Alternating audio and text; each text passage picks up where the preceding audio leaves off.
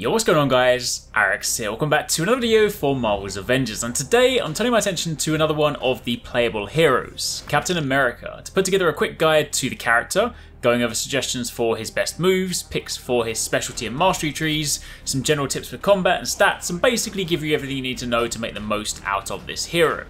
Just before that though, I do want to take a moment to very kindly thank Virgin Media for very kindly sponsoring this video. We've teamed up once again to bring you a deeper look at the game, so if you've been enjoying Avengers or you just want to know more, then be sure to keep it locked. Also, for any of you that happen to be Virgin Media customers, don't forget for a limited time you can grab yourself some in-game outfits, the ones you see in this video, in this cool red and white. For more details on that, click the link in the description box down below. But anyway, that's enough of the introduction, let's talk about Captain America. Captain America is designed to be one of your frontline warriors. In theory, he's built to be a tank and a parry god, but in practice, given that a lot of high level enemies spam unblockable moves, this doesn't always work out as planned, so some adjustments need to be made to truly take advantage of this hero, and this is where him being a Brooklyn Brawler comes into play. He has incredibly strong melee damage potential, whilst also being able to pick off things from afar thanks to his ability to throw his shield. He has great stun potential, and when you line everything up correctly, his takedowns can deal some insane damage numbers. So if you want to be up in the enemy's face, then Cap is the hero for you. Now, starting off with your moves, I'm not going to go through every ability here, but instead I'm just going to call out the most noteworthy moves that you'll want to be using with this build. Again, keep in mind, once you get to level 50, you'll have everything unlocked anyway. The focus for this build is all around keeping 100% uptime on your Brooklyn Brawler, your ultimate ability, since doing this not only adds additional combo options, but it also allows you to do more damage and take less damage. So if we dive into the skill tree, down the light attack column, you want to grab the first three skills as this is your bread and butter combo. New York Knuckles, Cartwheel Kick, and Shield Sweep. Cartwheel Kick is a good way to deal with shields, exposing them for more damage, and Shield Sweep can knock enemies up into the air if you want to begin juggling. In the heavy tree, it's worth grabbing Shield Smash, Shield Bash, and Rising Hope. This gives you a strong, heavy attack chain that you can work into your combos, and again, has another good launcher for those juggle air combos. Plus, you have an inherent crit bonus if you knock enemies into the air, so it all works nicely together, especially when paired with Brooklyn Brawler, as you'll see shortly. As for your ranged offerings, in truth, this build is much more focused on up-close melee combat. However, it is useful to have the shield throw for picking off flying enemies, turrets, drones, etc. The various nodes in this tree allow you to get more ricochets in your throws, thus allowing you to bounce between multiple enemies, so it's all worth grabbing in time. You also have the fancy shield kick if you want some style points, but again, for the purposes of this build, it really all revolves around your up close melee combat. So grab those light and heavy combos and you're good to go.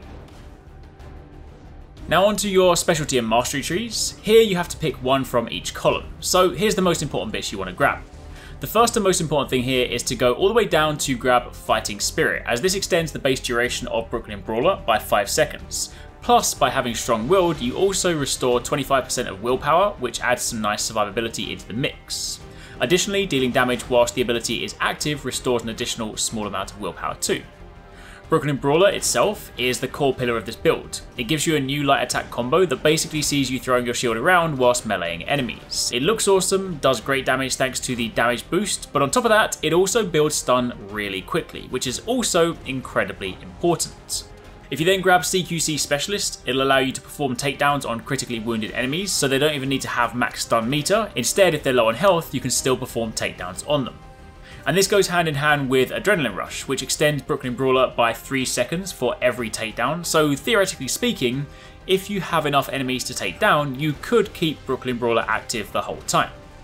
Additionally, the takedowns themselves do insane damage, so not only is this a way to keep the heroic ability active, it's also a great avenue to damage. Outside of this tree, it's worth specking into Steamroller to get extra shield throw charge, and pair that with Vanguard Charge, where every two enemies defeated with Steamroller generates heroic orbs, so if you use this to pick off weaker or flying enemies, then it's a good means to grab further orbs, which can replenish your skills. It's also worth specking into Threat Control, since this adds 15% additional stun damage to your Rally Cry, which is yet another avenue to takedowns.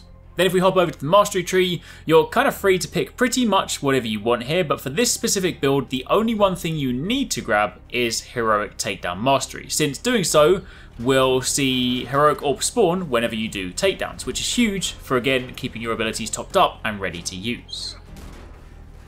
As for your stats, There's a couple of ways you can look at this, but from our testing, we found that we get the best results when we spec heavily into Might as our primary stats. You can dip into Valor to boost your heroic effectiveness, and we did play around with this for a while, but honestly, from the way we use Cap, Might just results in the best, most impactful outcome. So pick that as your main stat, and if you want to dip into something else, then pick up Valor as your secondary.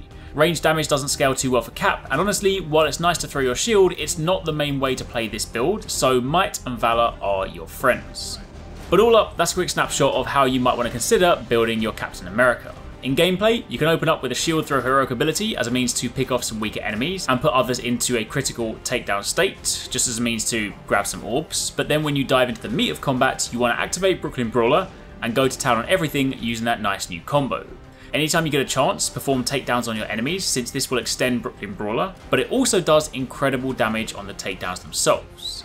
And again, anytime there are ranged enemies, you can throw your shield. That too creates heroic orbs, so on the off chance that you do let Brooklyn Brawler drop, between your takedowns and your shield throw, you have a good way to spawn heroic orbs to get Brawler back up pretty quickly. But that, my friends, is pretty much it. That's a quick look at how we've been playing Captain America. Hopefully you found this helpful. I also want to round out this video by once again thanking Virgin Media for kindly sponsoring this series. Their M500 fibre broadband offers hero-worthy speeds and is the connection designed with gamers in mind. So if you're diving into some co-op action, then they've got you covered. Of course, if you're enjoying Avengers, then be sure to keep it locked, as we've got more stuff coming your way soon. But for now, thanks for watching, and I'll catch you in the next one.